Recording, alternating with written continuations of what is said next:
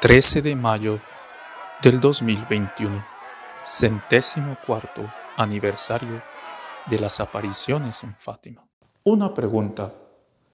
¿El mensaje de Fátima fue escuchado? ¿Tú lo pones en práctica? Te esperamos este miércoles a las 20:30 en las Buenas noches a María para responder a esa pregunta.